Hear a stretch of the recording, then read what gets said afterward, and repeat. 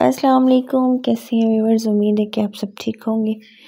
मैं भी अल्हम्दुलिल्लाह ठीक हूँ तो आज की वीडियो शुरू करें। इस पर जल्दी से चैनल सब्सक्राइब कर दें। और व्यूवर्स, सबको माह रमज़ान शरीफ बहुत बहुत मुबारक हो। और पहला रोज़ा, पहली सहरी सबको मुबारक हो। तो मैं व्यूवर्स, उठ गई थी तीन बजे। तो मैंने उठ के सबसे पहले चाय बनाई। तो मैंने कहा जो सहरी है तो स्टार्ट कर दें। फिर टाइम लग जाता है बनाने में। चाय नाश्ता मतलब जो जो चीज़ें बनानी होती हैं तो आज ना कुछ ज़्यादा चीज़ें नहीं थी बट हमने बस थोड़ा सा ये तमाम किया था। अभी मैंने चाय बनाई है तो मैं मीठा चेक करी थी मैंने कहा तो मीठा चेक करें कैसा है? मीठा पूरा था। तो मैंने आटा गूंद के जो है, रात को ही रख दिया था, क्योंकि अब सर्दी का मौसम है। तो आटा ख़राब नहीं होता। अभी ठंड है गर्मियाँ तो आई नहीं है फुल। तो मैंने तवा धोया तवा धो के फिर मैंने उसको चूल्हे पे रख दिया। तो अभी मैं बनाने लगी थी रोटियाँ। आटा जब मैंने गूंदा था तो आटे में मैंने ना घी लगा के रख दिया था। मैंने कहा अच्छी बन आ, अच्छे पराठे अच्छे बनेंगे। तो अभी देखिए मैं रोटी फिर मैंने बनाई है। अच्छी बनी है मज़े की बनी थी। ऊपर घी मिक्स किया हुआ था आटे में भी। और फिर ऊपर से भी मैंने रोटी पे घी लगाया था। और व्यूअर्स आप लोग बताना किस किस ने रोज़ा रखा है और सहरी में क्या क्या बनाया? और व्यूअर्स अल्लाह पाक सबको तौफीक दे, सब पूरे रोज़े रखें और अल्लाह पाक मुझे भी तौफीक दे कि मैं पूरे रोज़े रखूँ।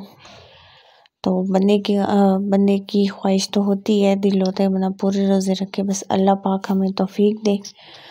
कि हम पूरे पूरे रोज़े रखे, बहुत मज़ा आता है हमारे रमज़ान में। बंदा सुबह सुबह उठता है सहरी बनाता है सहरी करता है, नमाज़ पढ़ता है और पूरा दिन इतना मज़े से गुजरता है ना, बस ना पूछे।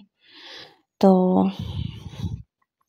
ये व्यूअर्स, रोटी माशाल्लाह मेरी पक रही थी। तो तो तो तो एक दो वॉइस ओवर करनी होती है ना तो कोई ज़्यादा बात ही नहीं आती, बंदा क्या करे।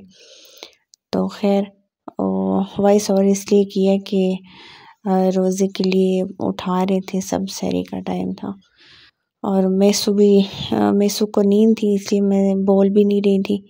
मन कहा मैसू मेरी आवाज़ सुन लेगी तो उठ जाएगी। जब उठ गई तो फिर शरारतें करती है पता ही है आप लोगों को। फिर सुकून से नहीं बैठती। उठ गई। अभी उठ गई है।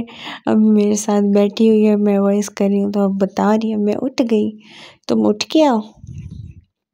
आपने रोज़ा रखा था? हाँ। हाँ। मैं सूट गई थी जब हमने आ, मैंने सहरी बना ली थी। सहरी कर भी ली थी उसके बाद मैं सूट गई थी जब मैं नमाज़ पढ़ने लगी थी। फिर मैंने कहा चलो मैसू ने फिर उस टाइम सिर्फ़ अंडा खाया था।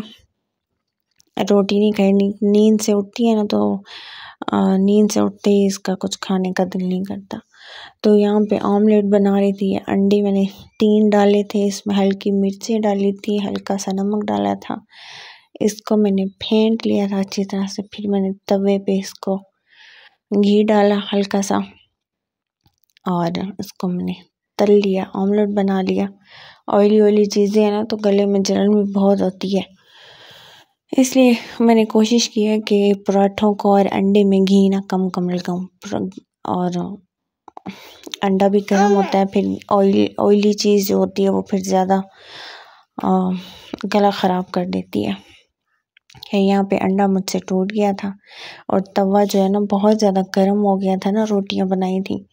तो इस वजह से ना जो मेरा, वो थोड़ा सा ना ब्राउन हो गया था, जल रहा था।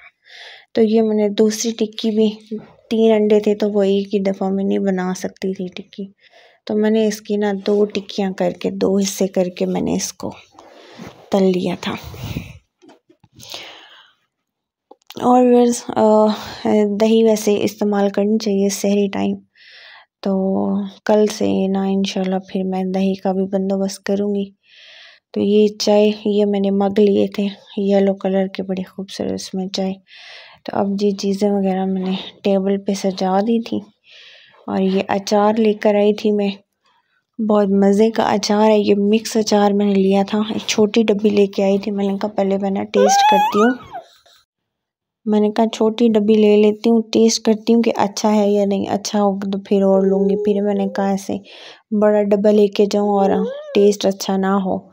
फिर मैं पछताऊँगी कि मुझे नहीं लेना चाहिए था, लेकिन छोटी डब्बी ली इतना मज़े का अचार है ना।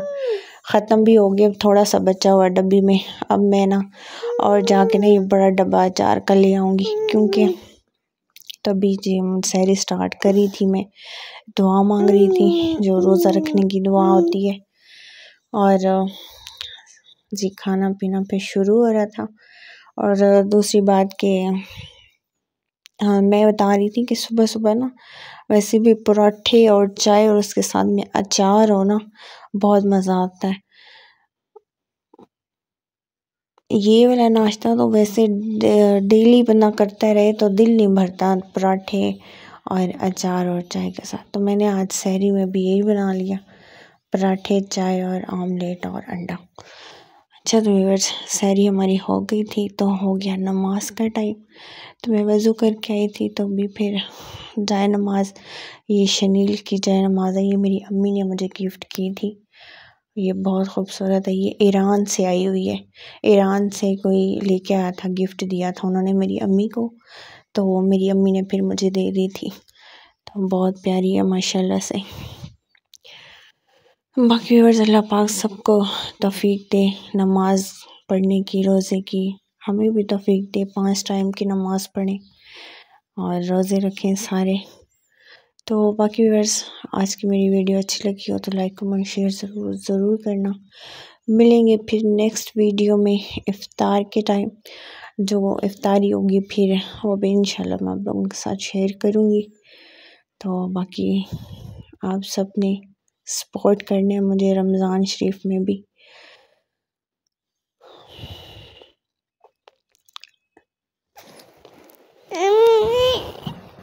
ओके व्यूवर्स बाय बाय मैं आप सबके लिए बहुत सी दुआएँ करूँगी और आप सब भी मेरे लिए बहुत सी दुआएँ करना। और मीसू के काम चेक करें। उठ गई थी तो चुम्मियाँ दे रही है, माशाल्लाह, बहुत समझदार है। मुझे नहीं तंग कर रही थी, बस साइड पे होके जाए नमाज़ पे चुमिया दे रही थी। मेरी चूही माशाल्लाह। वो क्या? क्या जान? क्या? कुछ भी नहीं।